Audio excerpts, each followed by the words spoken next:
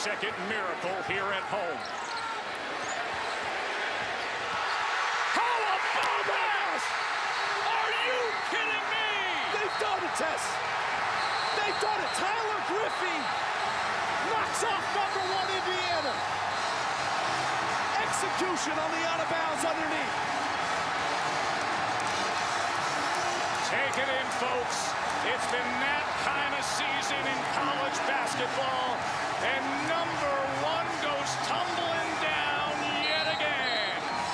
We talked about the importance of getting the stop. It was the stop and the turnover for Victor Oladipo that gave him the chance. And with 0.9 seconds left, you raise up, you lose where your man is. And for Coach Groce and his first season here at Illinois, losers of eight out of their last 11 games, and they got the answer.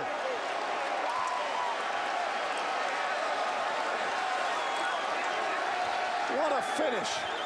Tom Crean in disbelief. Here's how it happens. The screen, and then Cody Zeller loses Tyler Griffey, clearly off before the horn sounds. Watch the screen. No communication. Cody Zeller caught in no man's land, and it's good. They did it to Magic's number one team in 79. They did it to Chris Paul's Wake team in 04. And now number one Indiana goes down to the Illini. Tyler